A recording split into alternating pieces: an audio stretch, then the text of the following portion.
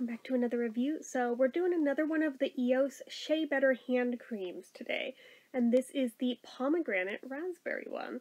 Uh, I've used up two of these so far, not in this scent. I used up the pink citrus and whatever the lavender one was. So that leaves, I think, just the eucalyptus one after this. But um, anyway, these retail for 350 a pop right now.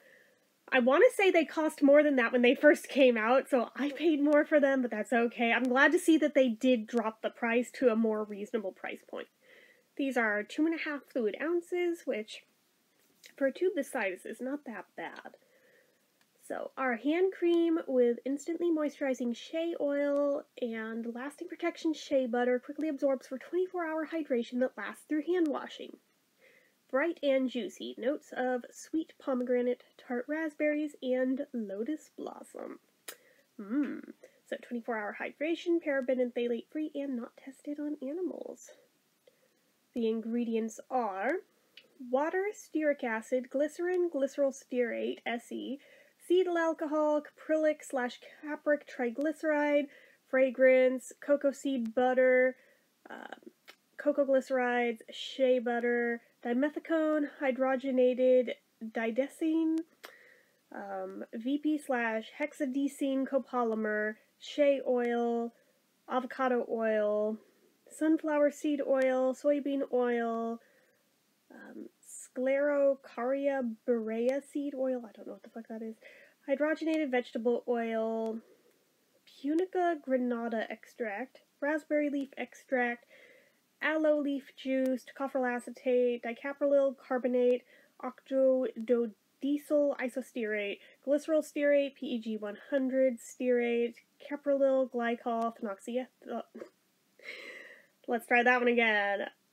Phenoxyethanol, magnesium aluminum silicate, carbomer, uh, sodium hydroxide, hexylene glycol, disodium EDTA, BHT, citric acid, potassium sorbate, sodium benzoate, titanium dioxide, Cl77891, hexyl cinnamal, linalool, butyl phenyl, uh, methylpropional, limonene, citra, citronellol, hydroxycitronellal, and alpha isomethyl ionone citral.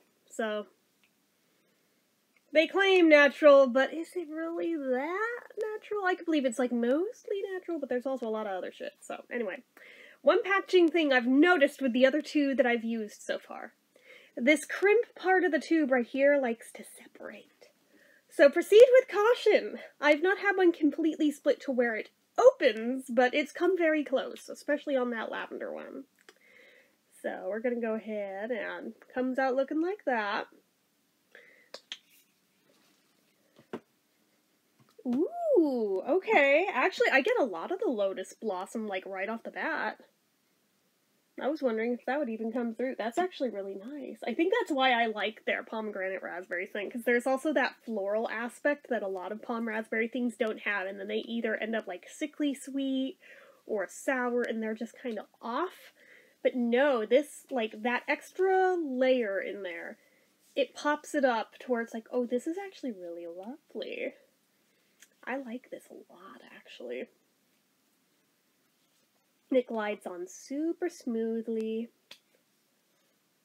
Very silky. I'm trying to get to just absorb in all the way. We'll see how quickly it actually absorbs. Uh, if it's anything like the other two, it won't be instant, but it also won't be like crazy greasy either. So, I mean, not the worst on earth, but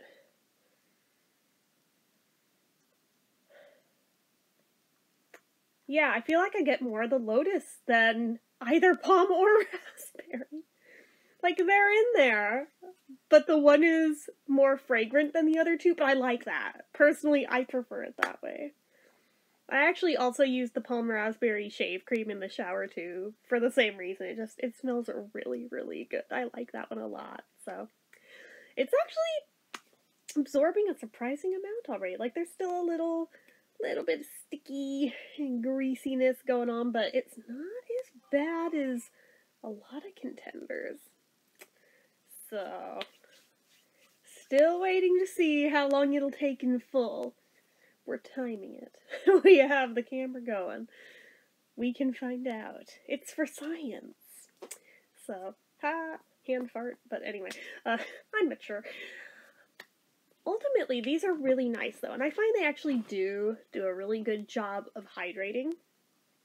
Now, if you need like intense hydration for things like your cuticles, I don't know that it'll necessarily help you there, but for general, like everyday dry hands, it'll help you there. You can use it your arms or anywhere you feel like, really. I wouldn't advise using it as a face cream because it feels a little occlusive for that. Like, it would probably break you out if you have sensitive skin, but you do you. But for anywhere else, it's really, really nice. So, still not 100%. This may be the point where it kind of just taps out and hangs out like that for like the next 20 minutes or so. So, I mean, that's okay. But for the price point, I feel like these are actually a really good value and they do a really good job. So, just because it's a pet beef of mine that it's not 100% all the way absorbed in, I will dock a point for that. But everything else I really like about this stuff. So for me, I'm giving it a 4 out of 5. So, anyways, definitely try it if you haven't yet. Like I said, it's only like 350 a tube at this point, so there's no reason not to try them out if you haven't tried them yet. So, anyways, those are my thoughts. Take them or leave them. There is also a fifth one, but I can't use it because it's the coconut one, so. I unfortunately do have one of the little mini hand creams of the coconut. Um, well, it's not this exact one. I thought this was it, but um, I have the coconut one of this too, so I'll probably try it just once, see if I have a reaction. If I do, I'll give it to my mom. If I don't, then I guess there is a coconut thing I can use. So, given how I react to most coconut things from EOS, though, I'm not holding my breath.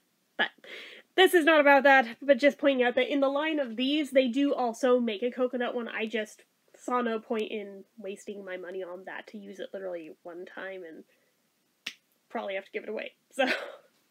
Then again, I could make the same argument about the other thing, but whatever. Whatever. I don't know where I draw the line and where I don't. I I don't know. But anyways, that's it for this one, guys. So, as usual, you know what to do. If you like this video, go ahead and give it a like.